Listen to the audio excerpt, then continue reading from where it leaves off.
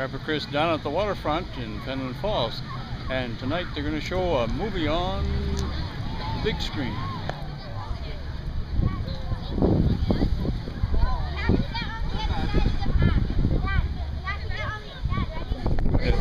Yes. We're in Fenelon Falls at Graham Park, Sunday, August 4th, and we're here for an outdoor movie in the park. We're watching Hook, so it's a PG movie for the family free popcorn supplies by 59 sponsors, as well as cotton candy by donation, so that we can continue these awesome events here in Fenelon Falls. As part of the special events committee, we have seven events we do all year round, so make sure you catch this event next year or any of the others. We have harvest happenings and Christmas event coming in December.